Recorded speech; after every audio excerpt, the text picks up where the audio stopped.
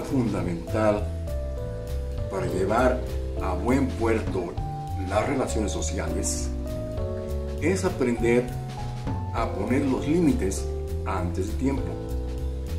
Antes de que comencemos a nuestra vida social, tenemos que aprender que debemos limitar la interacción de los demás con nosotros y de nosotros con los demás. No demos más de nosotros ni permitamos que los otros se metan más allá de lo que queremos que se metan en nuestras vidas. Eso es aprender a poner límites antes de que sea demasiado tarde, porque cuando es demasiado tarde ya no es posible limitarlos.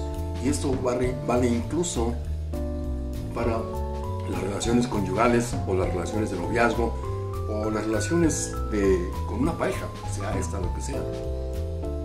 Pero hay que poner límites porque el exceso de confianza provoca rechazo, repulsión y desconfianza.